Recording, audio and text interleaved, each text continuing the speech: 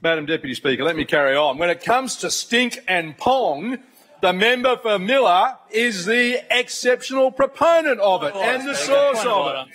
When it Uh, comes to member for stink and Clayfield, pong, sorry, pause the when clock. we talk Member about- for Point of Clayfield, order. apologise. I'll ask that you take your seat. The member for Miller is making point of order. I take personal offence at those comments and they ask uh, they be withdrawn. Order, members. Thank you. On my left, uh, member. He has I withdraw. taken it. I withdraw. When it comes to stink and pong, Madam Chairman, the member for Miller is part of a government that excels in emanating. They are the proponents of it, and nothing is more evident than in this piece of legislation where they fail to deal with the biggest stink and the biggest pong of all, and that is their Labor mate Peter Carne, who they appointed to a $300,000 a year job and who this Attorney General had to sack from that job and give notice to because of allegations in relation to drinking on the job, misappropriation of funds and taking travel overseas at the taxpayer's expense. That's a stink and a pong. And what this bill doesn't deal with is also the issues in relation to the former Deputy Premier of South Brisbane and her actions in the appointment of a former Under-Treasurer of this state and the allegations in relation to her interference in the appointment against the recommendation made by the Director General of the Department of Premier and Cabinet. That's a stink and a pong. And, Madam Deputy Speaker, in relation to that, it is this government's decision made by the former Premier, the former Attorney General, the current Attorney General, factional allies of Premier Miles in this place, to fund Jackie Trad's action against the Triple C to stop the release of a report by the Independent Crime and Corruption Commission into those matters. That is a stink and a pong. That is a stink and a pong, member for Miller.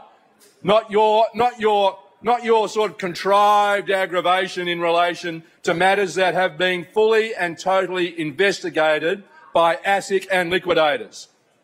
And, and, and that is the essence of what this bill doesn't do, Madam Deputy Speaker, in terms of the Crime and Corruption Amendment Bill. This bill fails to do the things that it should do and which this government knew had to be done. And they knew had, had to be done at least a year ago because there's a decision out of the High Court that the government knew was a potential outcome and they failed to prepare for it. And that is the decision in relation to their Labor mate, their Labor appointee, Peter Carne. This bill should have dealt with the fact that the Triple C has been effectively neutered in its reporting function on its corruption investigation since 2020. Prevarication and delay have been the way this government has operated all the way through this shameful episode.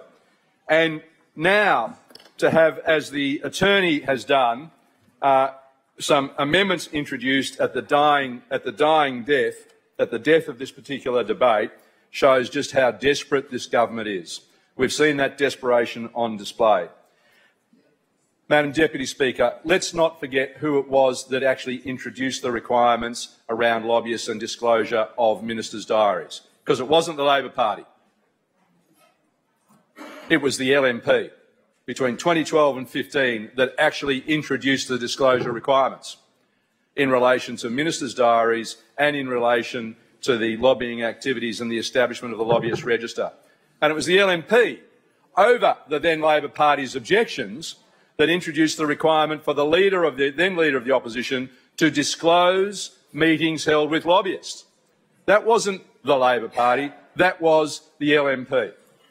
And uh, as uh, the uh, leader of the opposition has foreshadowed in terms of his correspondence uh, with, the, uh, with the Premier regarding this matter, which has been fulsome and complete, including copies of correspondence from the Integrity Commissioner, uh, the LNP will not, in that sense, be opposing the principle in relation to the disclosure of lobbying matters. And in fact, the very reason the government is moving down that way is because the LNP shadow ministers have been doing so anyway.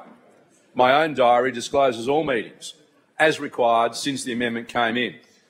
So, Madam Deputy Speaker, this bill, while necessary, in many respects is long overdue in what it does do, but is more telling about the thought processes of this Labor government in what it fails to do and in the amendments that have been brought forward. And there is only, in fact, one way um, that this matter and integrity can be restored to the way this state is government, and the only way to restore the openness and transparency Queenslanders deserve is to show Labor the door in 2024 and, and elect a Crisafulli LNP government.